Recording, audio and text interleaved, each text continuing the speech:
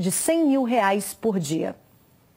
Um homem que guardava várias armas dentro de casa foi preso pela polícia depois de atirar na rua durante uma briga com funcionários de um bar no Santo Antônio, em Belo Horizonte. Ele é conhecido no bairro como o maníaco da janela. Na casa dele, os policiais encontraram armas de diversos calibres, um arsenal de guerra. A Rotan foi acionada após ele ameaçar e atirar contra um jovem de 22 anos, na porta desse bar. Ele se identificou como policial civil, mas não apresentou nenhum documento. A maioria das armas apreendidas tem registro de colecionador. Tinha um, um sujeito fumando maconha embaixo da janela dele, ele xingou o cara, mas o cara respondeu ele e ele pegou a arma e deu tiro no, no no cidadão lá embaixo. Moradores dessa região disseram aos policiais que o homem é conhecido como maníaco da janela, pois tem o hábito de observar janelas de apartamentos dessa rua.